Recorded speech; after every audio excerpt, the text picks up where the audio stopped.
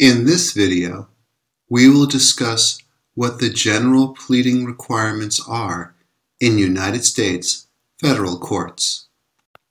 By pleading requirements, we mean what does a plaintiff need to include in his complaint in a civil litigation? One way to think about this issue is, should we make it difficult or easy for a plaintiff to start a case in a civil litigation? We can imagine a system where we make it very difficult for a plaintiff to start a civil case. For example, we could have a system that requires the plaintiff to include all of the facts that he is aware of supporting his claim against the defendant. A system with strict pleading requirements could also require the plaintiff to include evidence supporting his claim, with documents, photographs, affidavits. This type of system would make it more difficult for plaintiffs to start a case. We can probably assume that the easier it is to start a civil litigation, the more civil litigation we will have. In the United States, as a general rule, it is relatively easy to start a civil litigation. In most cases, the United States federal courts do not impose difficult pleading requirements. Instead, for most cases, there are relatively easy pleading requirements. Rule 8 of the Federal Rules of Civil Procedure only impose three requirements on a complaint. We will focus on the second requirement that the complaint include a short and plain statement showing that the plaintiff is entitled to relief. What does a plaintiff need to do to include a short and plain statement showing that he is entitled to relief?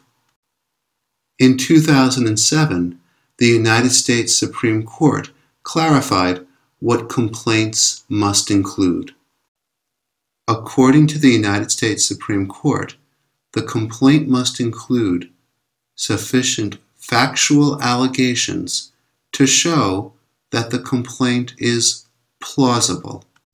The complaint does not have to include all facts relevant to the dispute.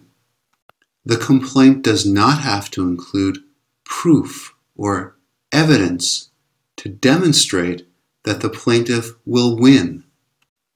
But the complaint does need to allege enough facts to show that the claim is more than conceivable, but actually plausible.